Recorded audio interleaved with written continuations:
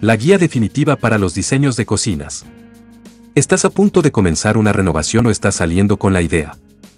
Siendo la cocina el centro de la casa y de la rutina, esta merece y necesita, para el buen funcionamiento de las tareas, una planificación bien pensada. Además de combinar con tu estilo, personalidad y, por supuesto, ser bonita, también debe valorar una organización que tenga sentido para ti. Saber qué distribuciones puede ofrecer el lugar es el primer paso.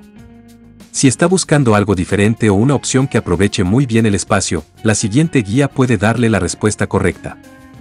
Antes de empezar, asegúrate de suscribirte al canal y activar la campanita para disfrutar de nuevos vídeos. Empecemos. Este es el diseño más simple para cocinas, con muchos gabinetes y una sola encimera dispuesta a lo largo de la superficie. Al encajar en un interior diáfano pequeño o grande, la alternativa abre el espacio al resto de la casa, integrándolo con un comedor o sala de estar, a diferencia de los proyectos que lo confinan detrás de una isla, una cafetería o una península. Como sugiere el nombre, el formato de este diseño imita el diseño de la letra L, con dos contadores conectados en ángulo recto.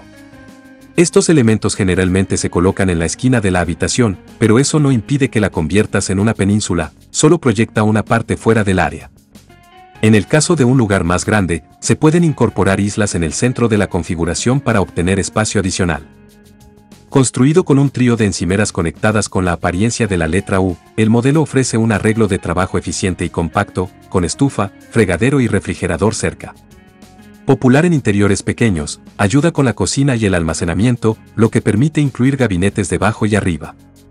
Tomando su nombre del estrecho comedor de los barcos, el estilo involucra dos filas paralelas de gabinetes y encimeras separadas por un pasillo. Trabaja bien en habitaciones limitadas o estrechas y largas, al igual que la forma de U, tiene una buena configuración para el trabajo. En casas más pequeñas, la cocina es como un pasillo que conduce al comedor. Con la forma de la característica geográfica, las penínsulas ofrecen un banco y opciones de asientos. Debido a que se extienden desde una pared, a menudo se usan en entornos más pequeños donde sería difícil insertar una isla independiente.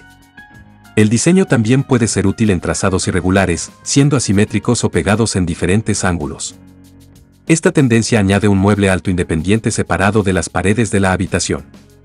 Por lo general, contiene almacenamiento adicional en la parte inferior y espacio de preparación en la parte superior, y tiene forma rectangular. La superficie extra funciona muy bien en el espacio abierto, ya que proporciona una línea de visión clara entre la cocina y el comedor, ofreciendo un lugar donde todo se une. La opción se ha vuelto muy famosa por crear un entorno multifuncional para preparar comidas, comer y socializar, más informales, son capaces de albergar una variedad de actividades. En casas grandes brindan un área abierta y en pequeñas ahorran espacio. Esta es una extensión de un banco, a menudo incorporado en islas o penínsulas, que se utiliza como una alternativa informal para cenar, socializar e incluso para la oficina en casa. La barra de desayuno hace que la habitación sea funcional, ofreciendo posibilidades de almacenamiento y una superficie para realizar tareas. Si te ha gustado este video, dale un like y comparte con alguien a quien creas que le pueda interesar. No olvides suscribirte y recuerda hacer clic en la campanita para no perderte ningún nuevo video. Muchas gracias por ver el video.